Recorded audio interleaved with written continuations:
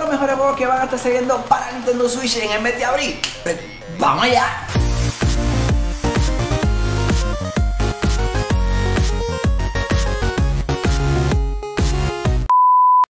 Darksiders Wars War Master Edition va a salir para Nintendo Switch el próximo 2 de abril. Este juego es un action adventure, este hack and slash por decirlo de una manera.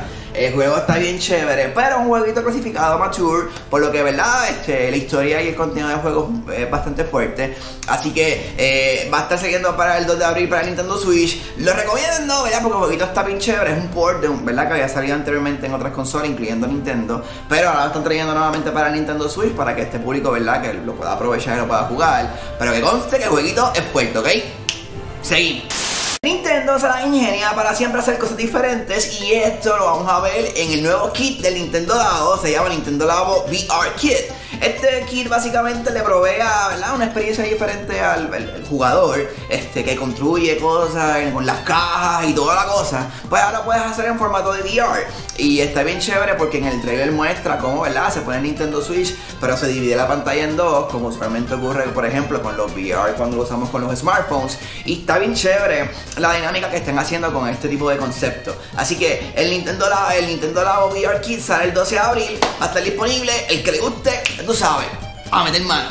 Final Fantasy X X2 sale para el 16 de abril. Este, este juego, ¿verdad? Es un port, ¿verdad? Un jueguito que ya es, bastante viejo, es bastante viejo. El jueguito ya salió anteriormente, ¿verdad? Es como, por ejemplo, Tales of Vesperia, que había salido para otras consolas anteriormente, pues este juego fue igual. Ahora bien, lo van a portar para el Nintendo Switch, ya que Square Enix está dando un support masivo a la máquina, trayendo toda la colección de videojuegos de ellos, por ejemplo, de Final Fantasy. Los han traído todos, ¿verdad? Para la consola, como por ejemplo Final Fantasy 7, que salió en estos días. Venga, un saludito para ahí, papi yo sé que está jugando y ya, ya no ves mis videos.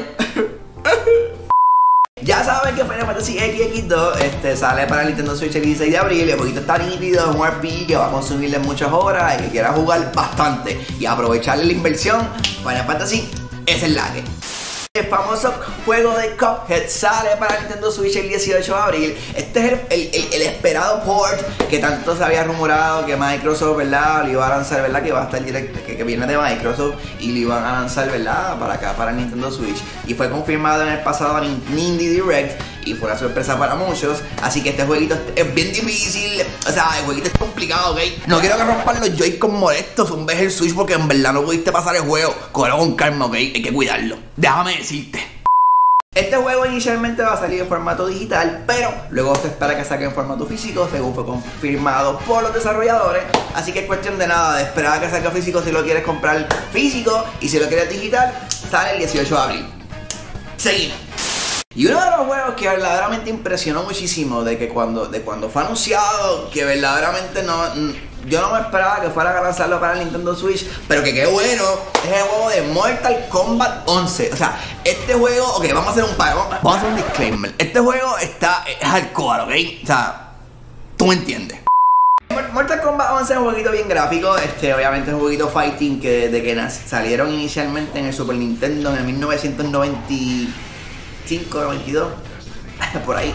Pues obviamente está caracterizado por ser gráfico, en lo que tiene que ver con la dinámica de las peleas entre ellos y, ¿verdad? Los famosos Fatality.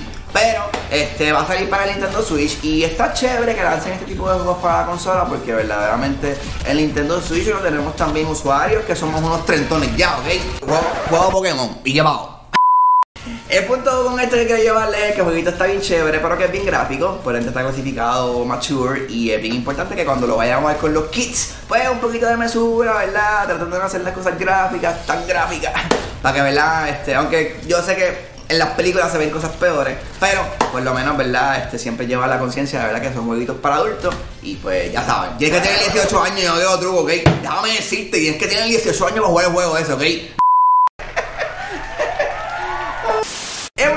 Este video, espero que les haya gustado. Estos son los 5 juegos que en mi opinión son los mejores que van a salir para Nintendo Switch en el mes de abril. No olvides darle, suscribirte a mi canal de YouTube, importante que te suscribas a mi canal, por favor. Te guía, de que estoy bien poco llegado a los 700 suscriptores, así que cuento con tu apoyo. De igual manera, este, no te olvides darle like al video, eh, darle like a mi fanpage en Facebook y seguirme en la página de Instagram. Este, sí, esto es un listón. Eh, y de igual manera, este, si te interesa la verdad, alguna t-shirt de parte de Caribbean Gamer, este, la puedes conseguir en T-Public, este, slash user slash Caribbean Gamer PR.